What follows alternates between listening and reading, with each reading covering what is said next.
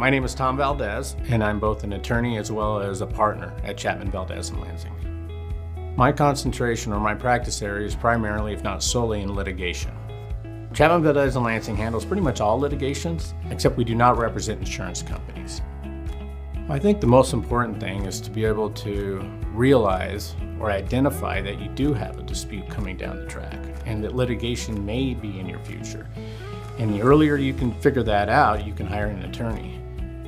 I believe Chapman Valdez and Lansing is uniquely capable of handling all your different litigation needs.